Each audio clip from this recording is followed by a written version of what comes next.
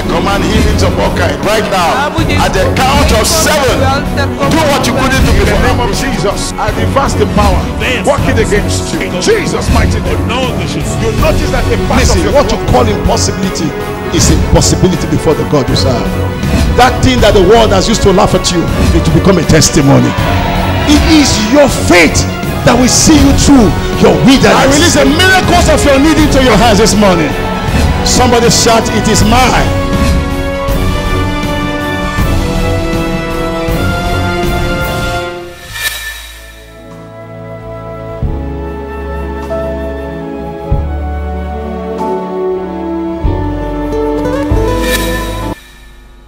Welcome to my segment, Moment of Recovery. My name is Pastor Tony Okoh. I'm so glad to come your way today. I'll be sharing so much from the Word of God. A lot of teaching I'll do today, and I want you to listen because this season is our season of prayer. The ember months are rolling in, and when the ember month starts to tick, before you know it, the year has come to a close. When you hear September, it's as good as saying December. My prayer for every one of you hearing the sound of my voice is that this year you will finish strong. I pray for you that your children will be protected, your children will be in safety, your family, your wife, everyone that matters to you, that is connected to you as a loved one. I pray that the hand of God will go with them and keep them. And I also pray that every project you put your hand to do, God will prosper it. Now, when it's ember months, there are a lot of challenges on ground for many. A lot of people are still trying to articulate um, their dreams, trying to communicate it. Some people are, are yet to um, see the reality of their dreams. Some people are yet to get help, the platform to to to see the manifestations of their uh, expectations. And a lot of people set out from January to see certain things are at the verge of either breaking or many could at this point be celebrating. But you see, it might be so good for you now, but you also need to pray for protection because you see, we're going to look at this prayer season from two angles. If God has blessed you, pray to keep you alive and to keep that blessing He's given to you. And then, two, if you have not been blessed, we need to come to God and ask for help. It's very vital we put all these things into consideration because we, whether we're blessed or we're not blessed, we need God. The man who has been blessed needs protection. The man that is yet to break through needs to, uh, to, to get the help of God, needs divine intervention. And I'll be sharing with you how and what prayer will do for you this season. In our church, we began a 21 day fasting. We're running a 21 day program tagged Hoshama. Now, Hoshama simply means Jehovah hears. Um, we coined it from the Hebrew word Hoshama, Jehovah hears. People who have come to a point that they begin to be skeptical.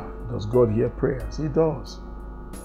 My own dear younger brother came for one of our Hoshama programs several years ago. And he had just left a job and he joined us on this 21 day prayer and fasting. Think the third or the fourth day was a prophetic word I was given for him. And today that prophecy has come to pass. And so many people over the years have been helped with Hoshama. Hoshama has been a great program because they came and they were crying to God, asking God for help, and God gave it to them. It's my prayer for every one of you today that God Almighty will visit with you. And not just you, your household. Now, whether you're a member of Sovereign Word Church or not, if you have not settled down to fix this season as a period of prayer, as we run the last phase of the year, I want you to put it in your itinerary to join us from other. If you have been following my broadcast and I've been a great blessing to you, I encourage you to join us as a day of recovery or recovery broadcast family. Join us as we pray. It's a season of prayer, and I want to see God move in your life. Now, when we talk about prayer, first of all, we need to um, get it right by getting closer to God. You don't start to go, you don't come to God in prayer with just one thing in mind breakthrough. You see, when we start from that angle, then we've gotten it all wrong. God desires a relationship with us. He wants us to draw close. He wants us to, to be intimate with Him. That's why the Bible tells us in the book of James, chapter 4, He says, Draw nigh unto God, He will draw nigh unto you. James 4, verse 8. But before then, in verse 7, it says, Submit yourself to God, resist the devil, he will flee from you. See, the victory we experience in prayer is a byproduct of our fellowship with God. And as we begin to pray this season, we need to understand the importance of strengthening our fellowship. Power in spiritual warfare is generated when we spend time and we build intimacy. See, one of the reasons people go see people, prophets, uh, prayer contractors, is because there's a distance and when the time of need comes, they find it difficult to connect because there's already a void, there's a vacuum. And that's why many people, even when they go before God in prayer, they get so they get so frustrated because there's an emptiness. It's not built. So we need to draw closer and become more intimate because that's where the power is generated. The Bible says, Submit yourself therefore to God, then resist the devil, and he will flee. And they say, Draw nigh unto him, will draw nigh unto you. See, when you go to God, don't just start with fighting witches and wizards. This period of your life and time, Lord, I love you. I appreciate you. Spend time in fellowship, speaking in tongues and praying, and then bridging the gap of communication. When that is in place, then you are just at the verge of breaking the backbone of darkness. I'll be back after this time out. And please stay tuned because there's so much I want to share with you on this broadcast tonight.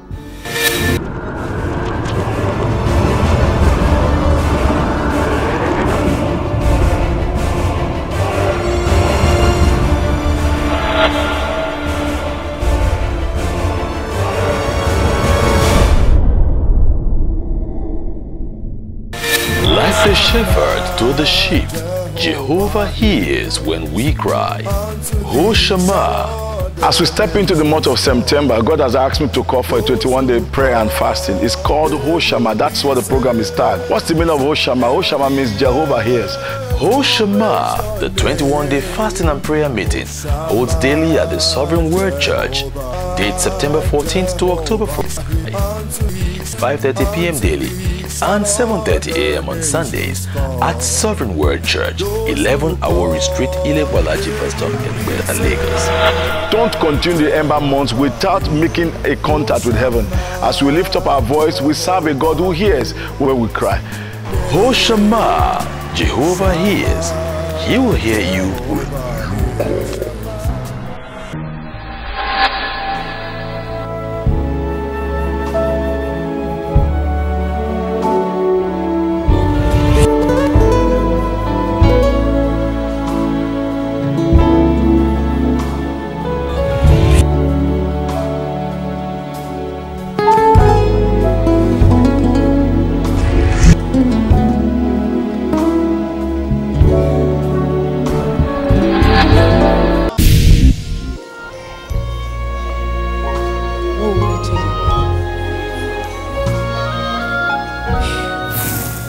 Welcome back. Thank you for staying, you know, staying on. And so, like I was saying, my my my children, I desire to have fellowship with them, and in fellowship, I begin to locate their needs. I begin to empower them. I, I begin to bless them. All parents are like that. You are like that. You're watching me right now. You want closeness with your children, with your family. No father wants to come back from an outing and then all the wife wants to do is just drop a bill on his table. No. Every father wants intimacy, wants closeness. And then as your family come around you, your spouse, your children, and you're playing, then you begin to look out for their needs. And you begin to come around them to see to it that their faith needs are met. God wants you to have His best. God wants you to be protected. But he says, if you want me to come around you, you first of all draw nigh unto me. Come close. Come close. Some of you watching this broadcast right now, you're so far. The Bible says, if God be for us, who can be against us? It's a level of intimacy you develop with the Father. You're protected, you are kept. And the wicked one cannot touch you, touch your family. Because there's a presence around you. And the Bible says, He that dwelleth in the secret place of the Most High shall abide under the shadow of the Almighty. The Bible talked about how Israel came out of Egypt. It talked about the presence of God. And he said the rams skipped, the mountains, they skipped, everything bowed, gave way. River Jordan backed out. The Bible says because of the presence of God. This period of our lives and time, this prophetic time, September, October, November, December, you need the presence of God all around you. And in that light, I also want you to see the need for repentance from sins, because one of the things that will clog our path, you know, the psalmist said, If I regard iniquity in my heart, God will not hear me. If you are part of this 21 days prayer and fasting, we, we, I want you to, at this point in your, your life, begin to look inward at those things that could hinder you from getting the best, the best from God. You see, there are people who are battling with witches and wizards, witches and wizards, witches and wizards, witches and wizards, not recognizing that there are certain things that are withdrawn from you when your relationship with God is destroyed. The present day church, people are not interested in working on their relationship. Rather, they are more interested in spiritual warfare and grab and claim the blessings. And this is one of the reasons why people are not even looking inward to deal with the things that could be the factors that is depriving them or that brought them to a place of deprivation. Sin can take from you the blessings of God. The Bible says, Shall we continue in sin that the grace of God may abound? So repentance is very important this season. Now, in Proverbs chapter 28, I read from 13, it says, He that covereth his sin shall not prosper, but whosoever confesseth and forsaketh them shall have mercy. Confess it, forsake it, shall have mercy. You, you can't be seeking God now for breakthrough this period of the year and not really look at the sin factor. Say, when you confess and then forsake it, you will have mercy. Now, look at Jeremiah chapter 5, verse 25. He said, Your iniquities have turned away these things, and your sins have withheld good things from you. So your iniquities have turned away these things, and your sins have withheld good things from you. So your, your sin, the sins you commit deliberately that you have not dealt with, can keep good things from you. You're watching this broadcast right now. The woman in your home, is she your wife? Yeah, well, some of you watching me right now, you're a contractor, a businessman, you're wondering why you're not breaking even. You have mistresses outside, you have women. Yet you're struggling to make ends, ends meet. Yet you are so engrossed in immorality. Some of you here, you waste all your energies carrying women drinking from one place to the other. And there's some women here, you're not faithful, you're not straightforward. You just see these things don't work. They have a way of ripping you off. And you see, Satan now takes advantage of these things and block your way. And for these blessings that God has apportioned for you to fall on your table, you need to get rid of all these things. So let's not just be looking about at the fact that there are things that have not come, blessings that have not flowed the way we expect, but let's begin to deal with the same factor. I believe God for you today that as you're watching me, don't turn that down. You might not enjoy what I'm saying today, but you don't need to enjoy it. It's the truth. It's the truth that sets free. Give up on sin. Whatever you've been doing since you've been doing for a long time, where has it taken you to? It just it has just it has deprived you. You know that people today they are where they are, they're stagnated because of sin. God says, My hands are not short I cannot save, neither is my ear too heavy. He said, But your iniquity have separated me and you. So why don't we just put this in? We cannot ascribe all the delays, attacks to witches and wizards. What about the things we're doing that we need to deal with? I pray for you today that God Almighty will help you to search inward. Breakthrough starts from within. Transformation starts within. When you are fasting, fasting breaks you and then aligns you to receive the blessings. Fasting doesn't change God or bend the hand of an unwilling God because God is always willing to bless. No, it brings you to a place where the things that hinder God from blessing you is taken out of the way. That's why the book of Isaiah chapter 40 says, Prepare you the way of the Lord. He said, Let every mountain be brought down, every valley be exalted, the crooked paths be made straight. He said, There the glory of the Lord shall be revealed, and all flesh shall see it. So, except we begin to straighten the crooked parts of our life, the glory of God will not come. That glory that will rest upon your father's house, that will make men to compare your diary, that will cause projects that were began to be finished. That glory that will come upon you, that the things you started out this year that was little has become great. Let it rest upon you today in Jesus' name. So please, I encourage you, take this time out to pray and fast, look inward, draw closer to God. Stop going through prayer contractors. Stop looking out for who to send your name to for prayer. Why don't you draw close? We are becoming so weak, so lazy. We are becoming so laid back spiritually. Our generation, we want people to do it. People are not really working, you know, around the clock to build that intimacy that should they should have with God. Rather, they are contracting it. Everything is being contracted. May the God of heaven help you this time to look inward. I'll be back. Please don't touch that. There's so much we need to talk about.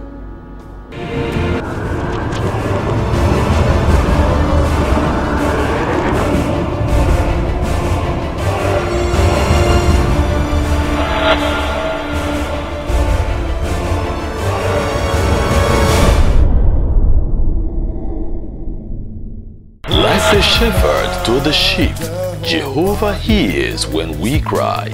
Ho. As we step into the month of September, God has asked me to call for a 21 day prayer and fasting. It's called Hoshama. That's what the program is tagged. What's the meaning of Hoshama? Hoshama means Jehovah hears. Hoshama, the 21 day fasting and prayer meeting, holds daily at the Sovereign Word Church. Date September 14th to October 4th. 5.30 p.m. daily and 7.30 a.m. on Sundays at Sovereign Word Church, 11 Awori Street, Ilebolaji Bus Stop in Lagos. Don't continue the ember months without making a contact with heaven. As we lift up our voice, we serve a God who hears when we cry. Hoshama, Jehovah hears. He will hear you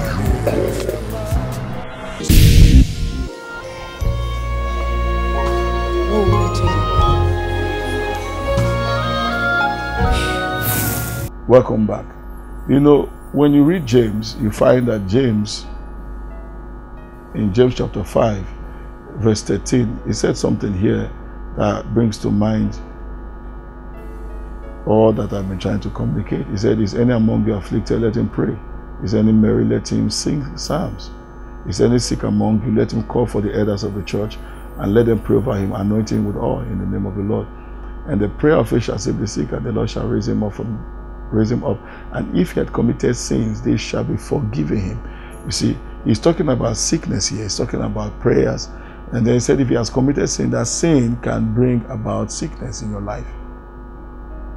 And then he goes on to say in verse 16, says, Confess your faults one to another and pray one to another that ye may be healed. The effectual fervent prayer of the righteous man availeth much. Confess your sins to one another. If he has committed sin, shall be forgiven him, and then the Lord shall raise him up. See, God is now saying that for the healing of the sick here to be effected, the sin has to be taken out by forgiveness, and then God will raise him up. So you need to recognize the importance of dealing with the sin factor. You know, it can sin can open the way to, to sickness and disease. Be amazed. I've seen many times when sins were confessed, sins of unforgiveness, bitterness, and all, and malicious or perversion. I was in the US recently and I was praying for a guy who was deeply involved in homosexual activity. Always sickly. Doctors have treated and treated. He's been to the best hospitals. He has not improved. When he came to a meeting by prophecy, I saw what God, I saw a pig in the, in, in, in, in, the, in the mud. You know, and I said to him, I said, sir, I don't know, there's something just not right. There's something dirty. And I said, Are you into anything perverted or perversion, any form of perversion? He was looking at me. I said, Are you into any sexual perversion? What is sexual perversion? A man is supposed to meet with a woman, not man to man or woman to woman. All these things can block your way. And he opened up to me later that he's a homosexual. a Christian. He even lives in the church compound. He's the one that keeps the keys of the church. I prayed for him. I cast out those devils from him, took him through the sinner's prayer, and I led him to Christ again. I prayed for him. I traveled. I was told recently he just broke some, you know, some new grounds in his business. He's into construction. Right now, the pastor told me for the last two, three weeks he's paid his tithe. And his health has been restored. He's looking far more better. The sores and injuries and all, some strange scars on his body and you know, those funny, funny things I saw, they're gone. And the guy is well now. He's so glad that somebody came to town to show him the way out. All we needed to do was to deal with the sin. And then we get moved to the place of blessings right now. What are the things you see that are clogging your way? Listen to me. Sin is just too cheap for you to lose your inheritance or your birthright. It was, it was in Genesis when you connect it to the book of Hebrews, you find that Esau was a fornicator. He was such a man given to his to the appetite, the dictates of his stomach. He traded everything. Many of us have done that. We've traded greatness for lust, the lust of the flesh. And you're so small, stranded, unachieved.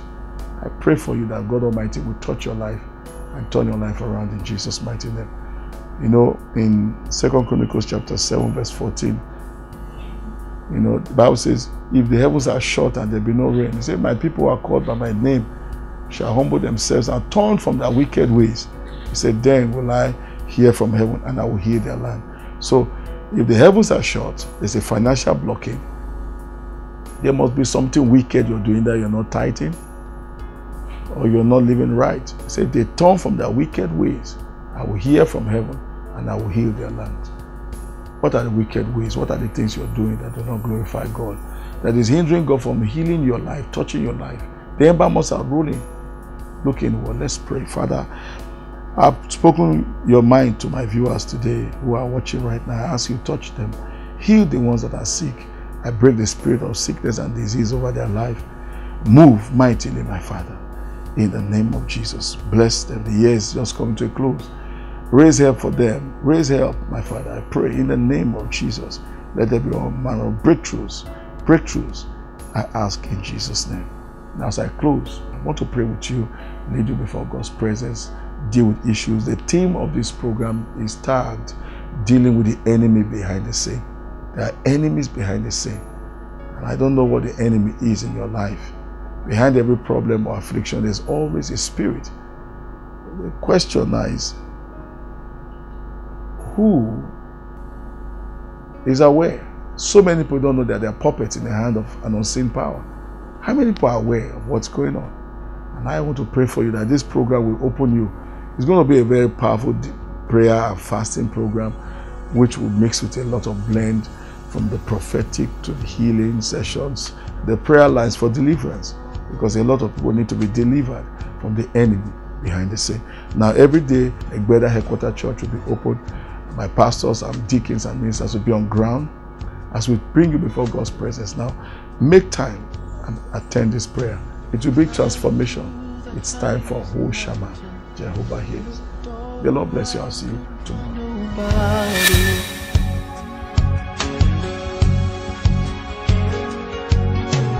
Down into the deepest valley.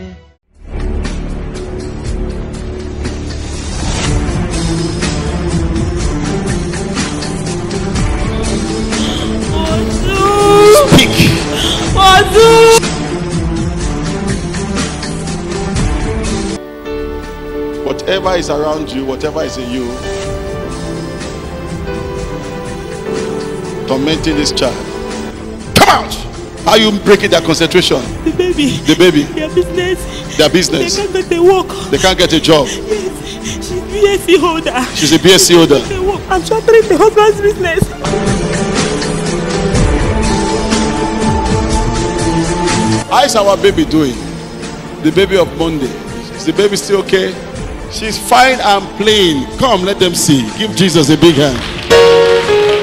The child is fine and is playing. Give the Lord a big, big hand.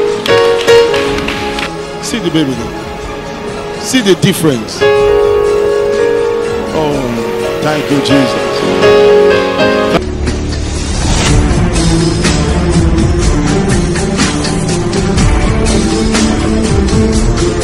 Woke up this morning now. You've been very ill for a long time. Your brother came to thank me this morning on the phone. You've been to several hospitals. Yes, sir. All right, right now I'm feeling very. You woke up very, Very strong. okay, yes. And this thing has been on for how many months? It started in June. It stopped. Then it came up about um, six days ago. I was taken to about two hospitals. They diagnosed so many things until yesterday when I came to. So when I got home after the Deliverance deliverance, yes, I felt good. I slept well. I was not. I've, I've not been able to go to the toilet for like a week now. This morning I went to the toilet, and um,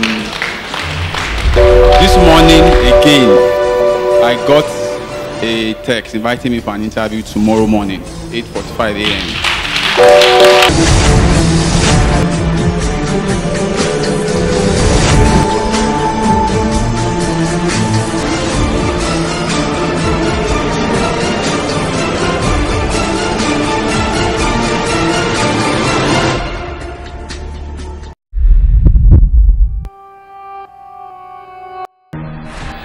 How many of you know that there is the mercy side of God? Jesus, thou son of David, have mercy on me. And Jesus stopped because somebody had to arouse the mercy by shouting. Didn't Jesus see him when he passed? He saw him. But the man had to arouse the mercy. He had to arouse, thou son of David, have mercy upon me. And Jesus stood still. Bring him.